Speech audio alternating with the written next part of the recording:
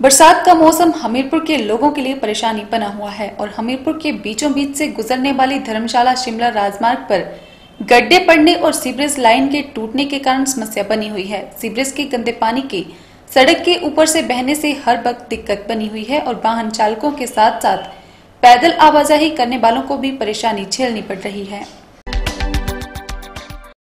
बरसात का मौसम हमीरपुर के लोगों के परेशानी का सबब बना हुआ है और हमीरपुर के बीचों बीच से गुजरने वाले धर्मशाला शिमला राजमार्ग पर गड्ढे पड़ने और सीवरेज लाइन के टूटने के कारण समस्या बनी हुई है। सीवरेज का गंदा पानी सड़क के ऊपर से बहने से हर वक्त दिक्कत बनी हुई है और वाहन चालकों के साथ साथ पैदल आवाजाही करने वालों को भी परेशानी झेलनी पड़ रही है। साथ ही दुकानदारों को गंदे पानी और बदबू नुमा माहौल में काम करना पड़ रहा है। वहीं गड्ढों के चलते हर वक्त दुर्घटनाओं का अंदेशा बना हुआ है। स्थानीय दुकानदारों का कहना है कि बरसात में पूरी सड़क पर गड्ढे पड़े हुए हैं और जब साथ में सीवरेज लाइन के टूट जाने के कारण गंदगी नुमा माहौल बना हुआ है। लोगों ने मांग की है कि समस्या का जल्द निवारण किया जाए।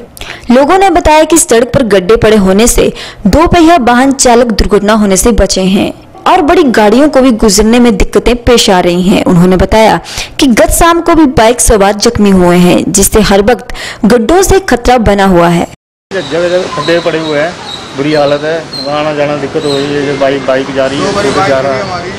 फिर आते आते जाते दो तीन बार एक्सीडेंट होने से बच गए यहाँ। बुरा हाल है। देखो आप खुद ही देखो कितना बुरा हाल है। दो बार मेरी बाइक स्कीट कर गई।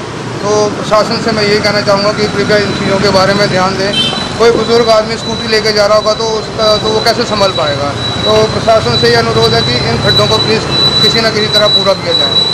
देखिए सर, आपने अभी थोड़ी देर पहले देखा मेरी बाइक स्कीट हो गई जिस कारण से मैं प्रशासन से अनुरोध करूँगा कि हम जैसे थोड़े ठीक हैं हमारे हालात, हम युवा हैं तो हम थोड़े संभल गए, लेकिन अगर कोई बुज़ुर्ग होता तो वो गिर जाता।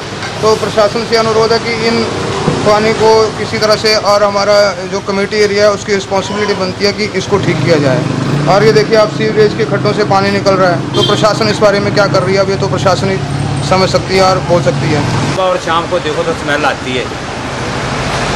सीवरेज की और सारा गंदा पानी जब भी कोई गाड़ी जाती है सारा गंदा पानी है वो दुकान के अंदर या कहाँ के तक पहुँच जाता है। इसलिए यही रिक्वेस्ट है काम करना मुश्किल हो जाता है। यही रिक्वेस्ट है। आप खुद देखिए कि गाड़ियाँ जा रही है कितना पानी जो है उछल के कपड़ों के ऊपर पड़ रहा है।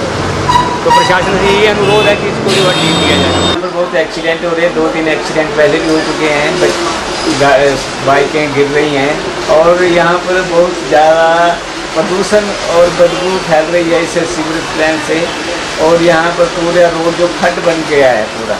तो क्या मांग करते हैं? हमारी मांग ये है कि इस रोड को ठीक किया जाए और यहाँ से लोग सुरक्षित चलें सड़क में।